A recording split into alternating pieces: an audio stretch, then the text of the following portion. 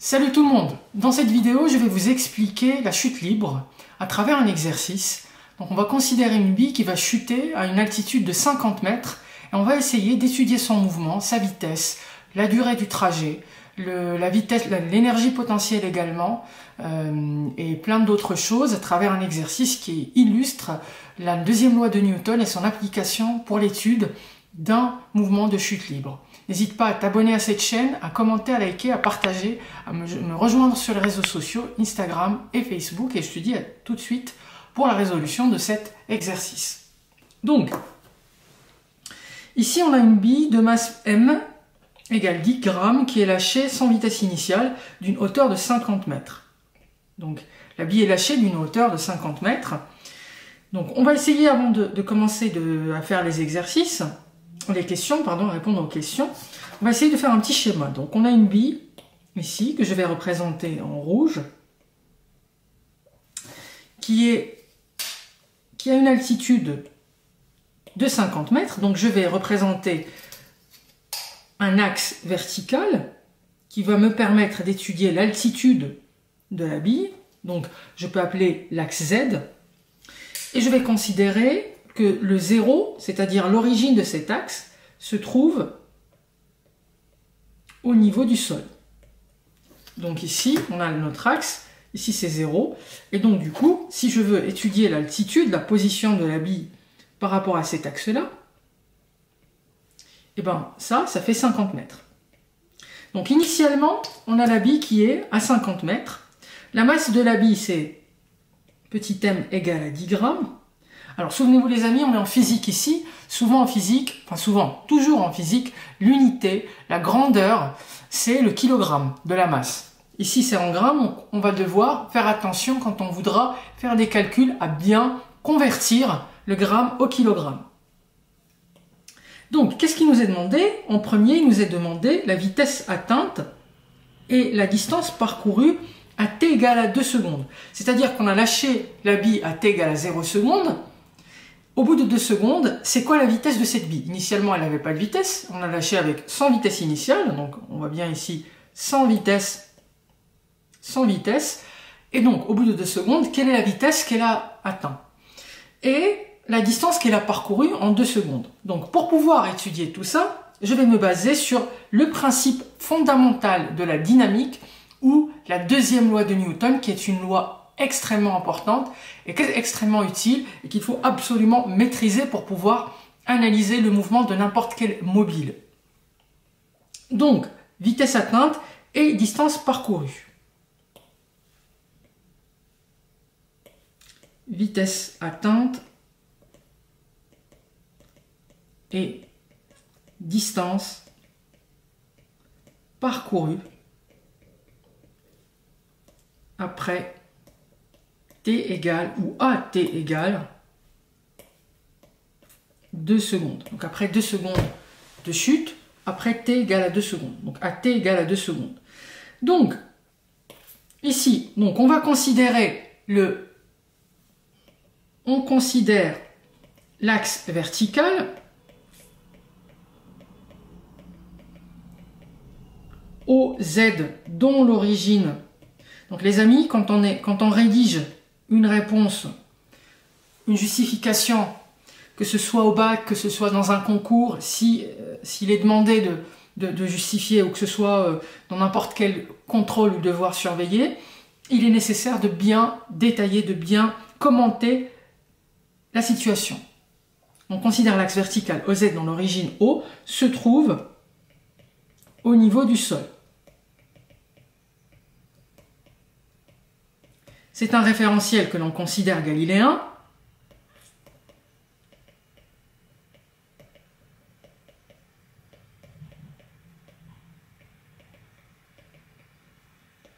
Galiléen. Donc, le système, notre système qu'on va étudier, c'est la bille, d'accord? Sur le système étudié, donc notre bille, une seule force extérieure s'applique.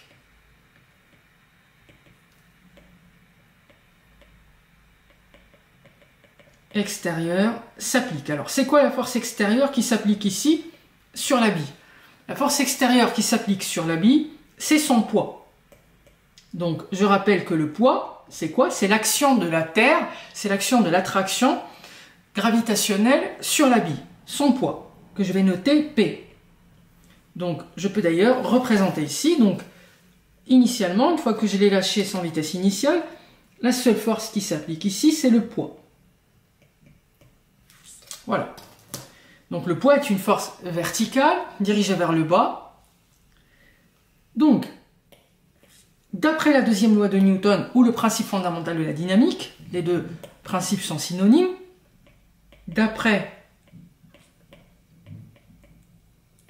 la deuxième loi de Newton, Qu'est-ce qu'elle nous dit la deuxième loi de Newton? Elle nous dit que la résultante des forces, la somme des forces appliquées sur un système, c'est égal à la masse du système fois son accélération. Donc ici, on écrit tout simplement P égale à petit m, la masse de la bille, fois son accélération A. Donc ça, c'est la première relation vectorielle qu'on peut écrire. P égale m fois A. P égale m fois A. Donc, par ailleurs, je sais exprimer ce, poids P dans le, dans le champ de gravitation. On sait depuis le collège. Par ailleurs, le poids P s'exprime comment? Le poids P s'exprime dans un champ de gravitation par la relation P égale M fois G, les amis. P égale M fois G. Vous vous souvenez de cette relation P égale à M fois G le poids est proportionnel à la masse. Et le, coefficient de proportionnalité, c'est le vecteur d'intensité de gravitation, l'accélération de pesanteur. Donc, puisque P est d'une part égal à m fois A et d'autre part égal à m fois G, qu'est-ce que je peux déduire? Je peux déduire que m fois G est égal à m fois A, si je remplace P par m fois G. Donc, m fois G égale m fois a. Et donc du coup, comme j'ai m de part et d'autre, je peux simplifier par m et déduire, on en déduit donc, on en déduit que l'accélération, c'est égal à g tout simplement. L'accélération est égale à g. Donc l'accélération, c'est c'est une accélération verticale également et qui est dirigée vers le bas. C'est tout, c'est exactement la même chose que g, la constante de gravitation ou le, champ gravitationnel. L'intensité du champ gravitationnel. Donc G, c'est ça G. Donc, A égale à G. Donc si j'essaie d'exprimer A dans le dans l'axe Z, sur l'axe Z, donc sur l'axe Z, si je fais la projection de ces vecteurs, donc l'accélération est égale à moins G, n'est-ce pas? Parce que G est dirigé vers le bas, d'accord? C'est moins G. A est égal à moins G. Le signe moins, je vous rappelle les amis, il fait référence au fait que l'accélération a un sens contraire de celui de l'axe qui est dirigé vers le haut. L'axe est dirigé vers le haut, l'accélération est dirigée vers le bas. C'est pourquoi on a l'accélération qui est égale à moins g. Voilà les amis, donc on a trouvé l'accélération. Maintenant, il nous est demandé dans la question de trouver la vitesse la vitesse atteinte après 2 secondes. Donc il va falloir qu'on ait une expression de la variation de la vitesse en fonction du temps. Comment s'exprime la vitesse en fonction du temps? Comment est-ce que je peux avoir un lien ou un rapport entre l'accélération et la vitesse? Eh Souvenez-vous les amis que c'est quoi l'accélération? Quand on accélère, on est dans une voiture. Accélérer, ça veut dire quoi? Ça veut dire augmenter la vitesse. Par exemple, j'accélère, je passe de 50 km h à 80 km h j'augmente la vitesse. Ou je décélère, ça veut dire que je ralentis, je baisse la vitesse. Mais à chaque fois, c'est l'accélérateur qui est en jeu. Donc l'accélération est une variation de la vitesse par rapport au temps. La variation en physique, généralement, c'est par rapport au temps. Donc, la variation en mathématiques, si je veux l'exprimer d'une manière mathématique, la, la, variation, toute variation, est traduite par une dérivée. Donc, on sait par ailleurs que l'accélération A c'est la variation de la vitesse par rapport au temps. D'accord? J'écris l'accélération de la vitesse sans vecteur parce que je parle d'intensité ici, c'est-à-dire de grandeur mesurable. Donc, comme l'accélération, c'est la variation de la vitesse, si je veux obtenir la vitesse, je dois chercher quoi? Je dois chercher la fonction dont l'accélération est la dérivée. D'accord? Pardon, la fonction dont la vitesse est la dérivée. C'est l'accélération. Donc, pour obtenir la vitesse, on doit chercher la primitive de l'accélération. La primitive de l'accélération. Donc, comme ici, l'accélération est une constante, c'est moins g. Alors, la vitesse, la primitive d'une constante, c'est la, primitive de, de a. La primitive de cette constante, c'est moins g fois t. Donc, plus. Donc, la vitesse, en fonction du temps, s'exprime sous la forme moins g, qui est une constante, moins g fois t, plus, bien sûr, une constante.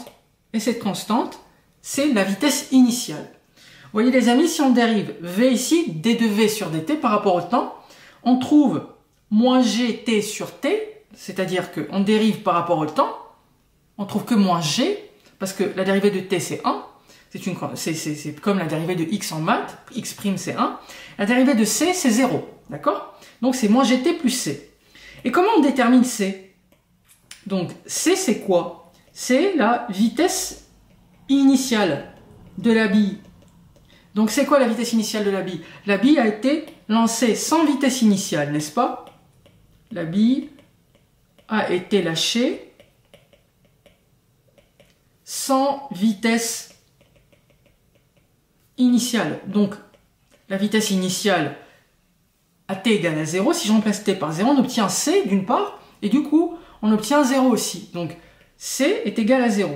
Donc, v de t, par conséquent, je trouve l'expression de la variation de la vitesse en fonction du temps, v de t égale à moins g fois t, moins gt. Voilà, donc les amis, comment s'exprime, comment varie la vitesse en fonction du temps ici? La vitesse varie de façon linéaire en fonction du temps. Donc, qu'est-ce qui nous est demandé ici, les amis? Ils nous disent la vitesse après 2 secondes. Maintenant, je peux, la calculer, cette vitesse. Parce que à t égale à 2 secondes, il me suffit de remplacer t par 2 secondes, n'est-ce pas? Donc v à t égale à 2 secondes, c'est quoi? Alors méfiez-vous les, amis ici, la vitesse si je remplace, on obtient quelque chose de négatif. Moi ce qui va m'intéresser, c'est globalement la, valeur absolue de la vitesse, n'est-ce pas? La valeur absolue de la vitesse, ça nous donnera l'intensité. Parce que le signe moins, il exprime simplement qu'on est en opposition par rapport à l'axe vertical, qu'on est vers le bas. D'accord? Si c'est négatif, ça veut dire que on est vers le bas. C'est tout simple. Mais comme je cherche l'intensité, je vais faire abstraction de ce signe-là. Et donc, il suffit de faire G, c'est la constante de pesanteur, c'est 9,8 fois T qui est égal à 2 secondes.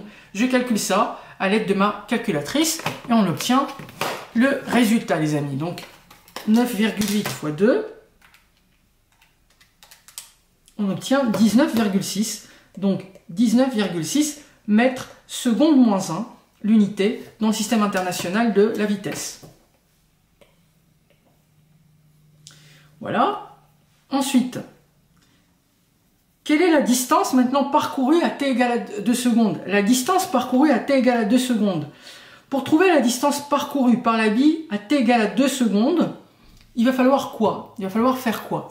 Il va falloir trouver la variation de la position de la bille en fonction du temps. Comme on a trouvé comment varie la vitesse tout au long du trajet, on va essayer de trouver comment varie la position, c'est-à-dire à, n'importe quel instant, il va falloir que je sois en mesure d'anticiper la position de la bille à tout instant. Donc, eh ben, on va faire la même chose que tout à l'heure, c'est-à-dire qu'on va s'interroger sur la relation qui existe désormais entre la vitesse et la position. Alors, par ailleurs, la vitesse, la vitesse c'est quoi? Quand on, a une vitesse, ça veut dire qu'on a qu'on se déplace, d'accord? On a une vitesse non nulle, ça veut dire qu'on se déplace. Donc la vitesse finalement c'est quoi? C'est une modification de la position, c'est un changement de position. Si je suis au point A à t égale à 0 secondes, je suis au point B à t égale à 1 seconde, le point A n'étant pas confondu avec le point B, ça veut dire que j'ai une vitesse entre le point A et le point B. Donc la vitesse est la variation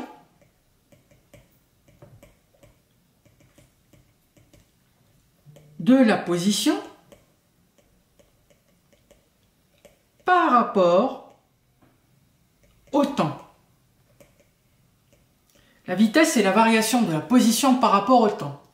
Donc, comment je peux écrire la vitesse? V de t égale une variation en mathématiques, c'est une dérivée. Donc d par rapport au temps, dérivée de quoi? La dérivée de la position. Ici, la position, elle est exprimée par quelle valeur? Par z, par l'axe z. Donc la position, c'est l'altitude z. Donc ici, la, vitesse, c'est la variation de la position par rapport au temps. Donc du coup, si la vitesse, c'est la dérivée de z, alors z, c'est quoi? Z, c'est donc la primitive de la vitesse, n'est-ce pas? Z, c'est l'intégrale de la vitesse. Donc, z de t, je peux écrire ça comme ça, c'est la primitive de v par rapport au temps.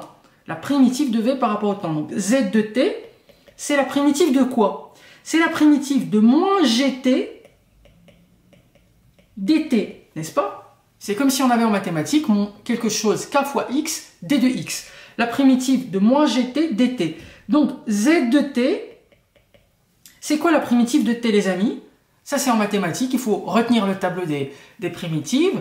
Euh, j'ai publié des vidéos là-dessus. N'hésitez pas à voir ma chaîne, hein, euh, section mathématiques. Et vous allez voir, il y a énormément de vidéos. Et vous allez sans doute trouver une vidéo sur les primitives ou le calcul d'intégrale. Donc ici, la primitive de t, comme la primitive de x, c'est x carré sur 2. Donc ici, c'est t carré sur 2. Donc ça me fait moins g t carré sur 2 plus constante. D'accord? Et cette constante-là, je vais l'appeler C' parce que tout à l'heure j'ai appelé la constante C. Cette constante-là, c'est la position initiale. D'accord? C'est la position initiale. Donc, les amis, C' est la position initiale de la bille sur l'axe sur l'axe Z. D'accord? C'est la position initiale de la bille sur l'axe Z.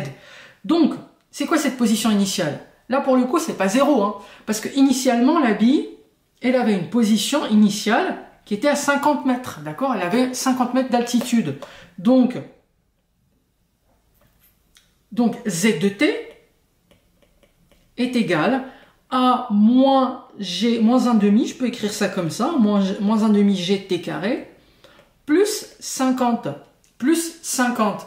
Et donc, là, vous voyez bien, les amis, on a la variation de la position en fonction du temps. C'est-à-dire qu'on peut anticiper simplement avec, si on veut, si on se désire savoir où se trouve la bille à t égale à 2 secondes, et eh bien, tout simplement, qu'est-ce qu'il faut faire?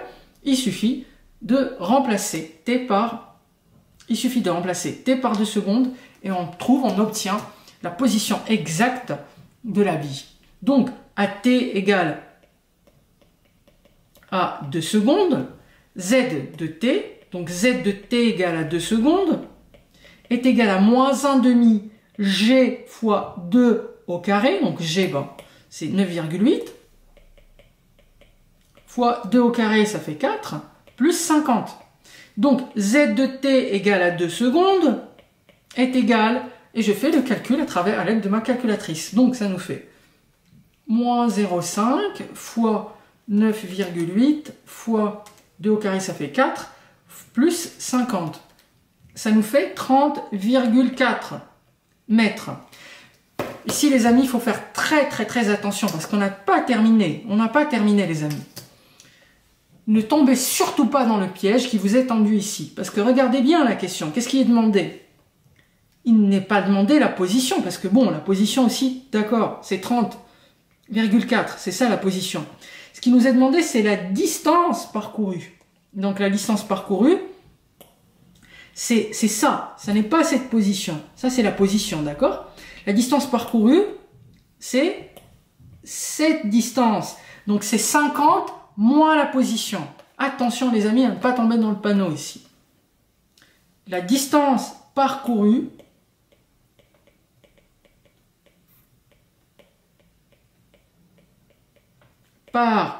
la bille, la distance parcourue par la bille est égale à, donc je vais l'appeler D, égale à 50 mètres moins sa position 30,4.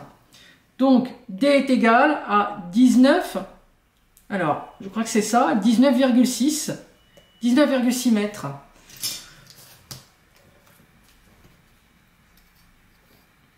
Voilà, 19,6 mètres. Donc la distance parcourue par la bille, c'est 19,6 mètres. Ok. Ensuite, qu'est-ce qu'on nous demande? La durée de la chute et la vitesse d'arrivée au sol. La durée de la chute, donc elle a chuté, en combien de temps en fait Combien de temps elle met pour arriver au sol? Et c'est quoi la vitesse à laquelle elle arrive, la vitesse d'impact? Donc, la durée de la chute. Très simple. N'hésitez pas à mettre pause les amis si vous voulez faire la suite et continuer ensuite la vidéo. Hein. N'hésitez pas à faire euh, une pause et essayer de faire, trouver par vous-même si vous voulez. Et commenter vos difficultés sur cette vidéo. Donc, vitesse d'arrivée, non, pardon, durée de la chute.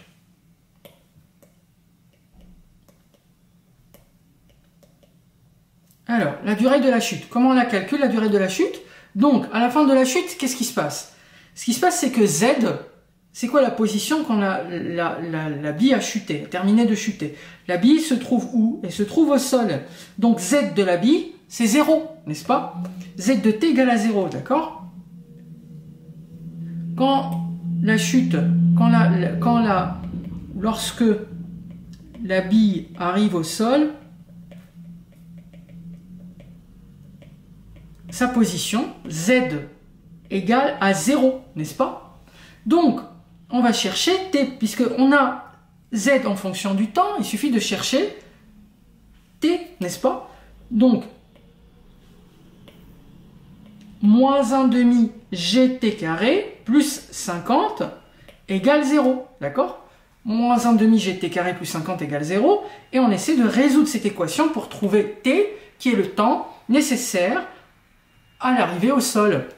Donc, on obtient quoi? 1 demi gt carré égale à 50.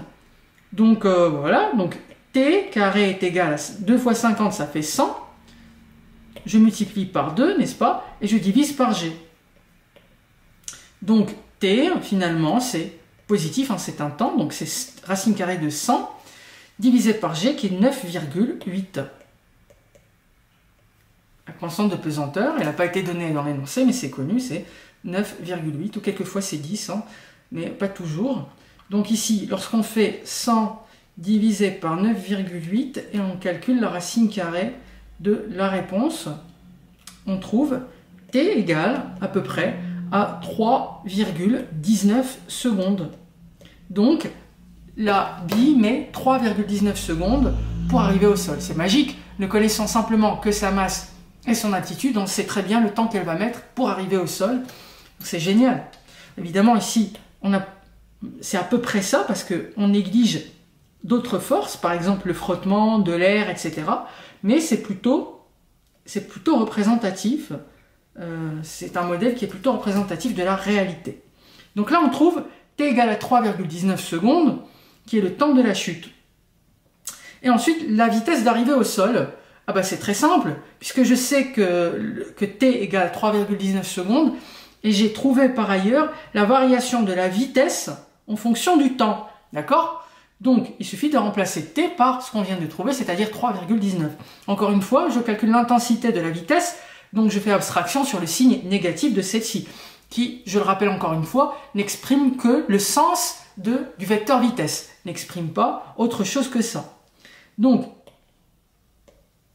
vitesse d'arrivée au sol, vitesse d'impact, hein, on peut dire ça comme ça.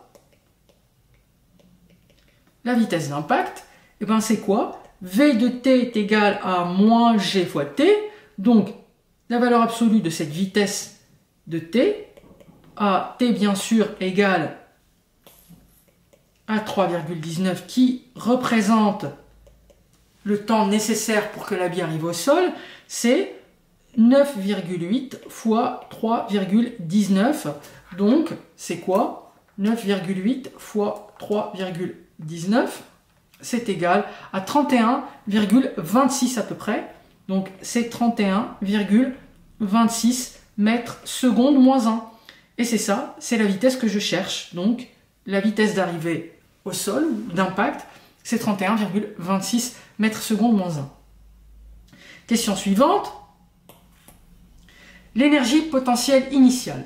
Alors, l'énergie potentielle, c'est la seule énergie, effectivement, la seule grandeur ici qui dépend de la masse. Parce que vous avez bien vu, ici en l'occurrence, dans toutes les relations qu'on a trouvées, finalement la masse ne joue pas un rôle. D'accord? Mais pour l'énergie potentielle de pesanteur, alors l'énergie potentielle de pesanteur, je vous rappelle qu'elle s'exprime de la manière suivante. Énergie potentielle de pesanteur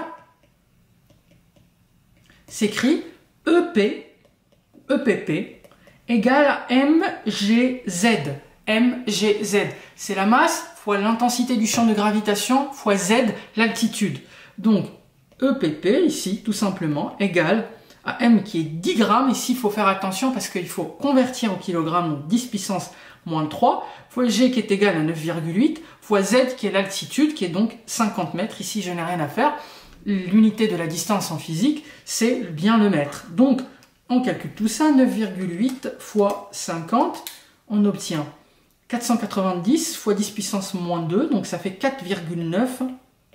Alors si je ne me trompe pas, oui c'est ça, 490 fois 10 puissance moins 2, donc effectivement 4,9 joules.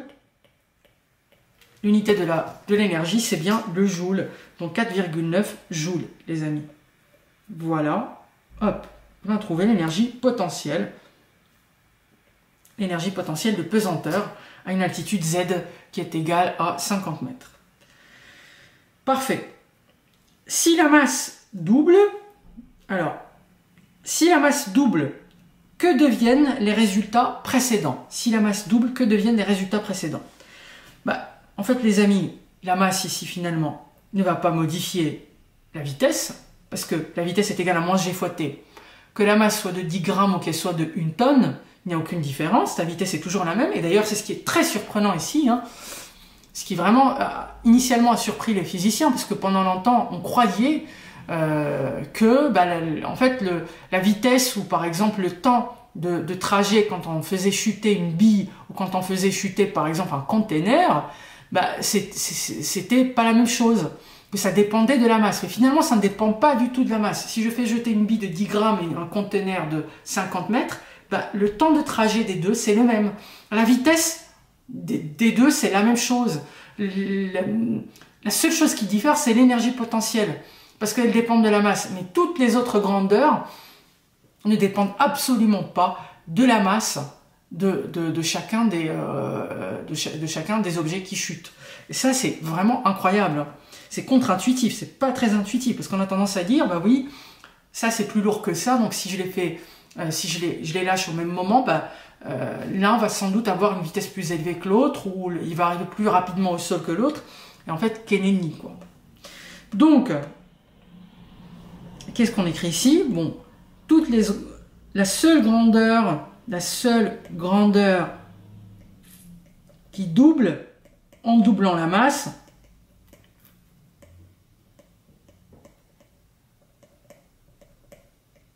et l'énergie potentielle. Pourquoi? Parce que, tout simplement, c'est l'énergie potentielle qui inclut l'expression de la masse dans sa formule, qui inclut la masse dans sa formule. Donc, si petit m' égale 2 fois m, bah, ça double mathématiquement l'énergie potentielle de pesanteur. Voilà les amis, un exercice complet qui vous détaille euh, qui vous vraiment vous explique la chute libre, qui revient sur la deuxième loi de Newton, qui revient sur la variation de, la vitesse par rapport au temps, donc l'accélération, la variation de la position par rapport au temps, donc la vitesse qui revient sur des notions d'équation horaire qu'on a pu trouver ici à travers cette, cette question-là, et qui revient également sur l'énergie potentielle de pesanteur avec des étapes bien détaillées, bien rédigées, qui peuvent vous servir à la fois aussi bien dans votre préparation pour le bac si vous préparez le bac, ou euh, d'autres concours, ou même dans vos contrôles continus euh, de physique-chimie. N'hésitez pas à commenter, à liker, à vous abonner à cette chaîne si vous voulez être prévenu des prochaines vidéos. N'hésitez pas non plus à me suivre sur les réseaux sociaux, Instagram et Facebook.